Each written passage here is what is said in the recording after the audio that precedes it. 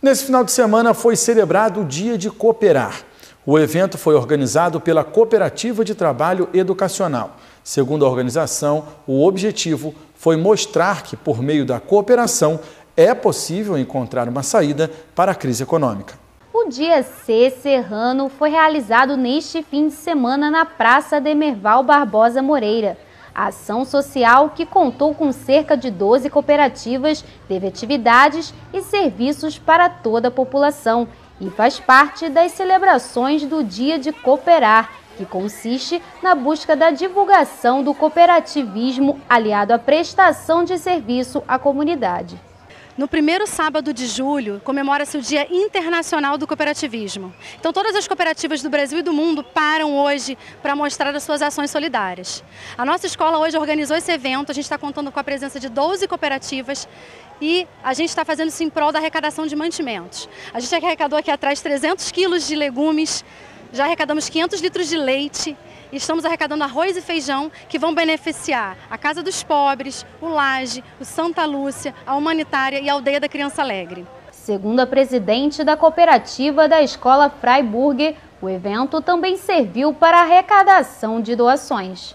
Nós trouxemos para cá 100 alunos que panfletaram e solicitaram é, doações às pessoas que vieram aqui receber os serviços oferecidos. Também trouxeram isso em troca de doações, então assim, o pula-pula, contação de histórias, aferição de pressão, a assessoria jurídica, está sendo tudo em troca de um quilo de alimento não perecível.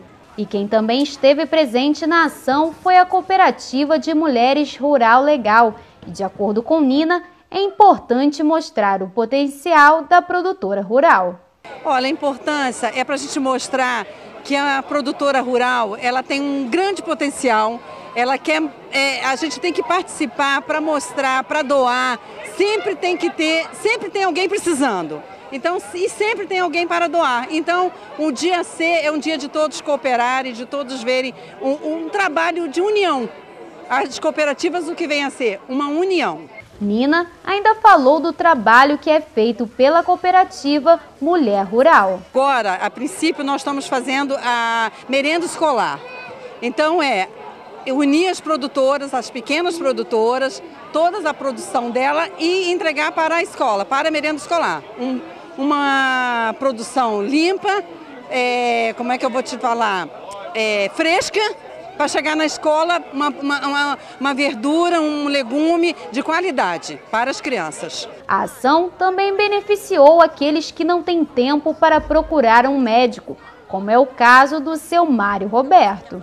Maneiro, uma coisa boa que estão fazendo aí, né? A gente já sabe assim mais ou menos a pressão que a gente. Eu quase não tenho tempo de ir, né? Aí a gente, eu passei aqui por passar, aí eu tô vendo movimentação, aí já vou fazer aqui na guarda glicose ali, que a gente não tem tempo de pôr de saúde. Aí aqui já é uma coisa boa que estão fazendo aqui para Friburgo, né? Segundo a estudante Aline Martins, o evento também serviu para praticar o que aprende em sala de aula. É muito importante, né? Tanto para divulgação do trabalho da humanitária, né, que tem feito um trabalho muito importante com a população, né, e importante para a gente também, né, como estudante, para a gente estar tá aprimorando nossas técnicas.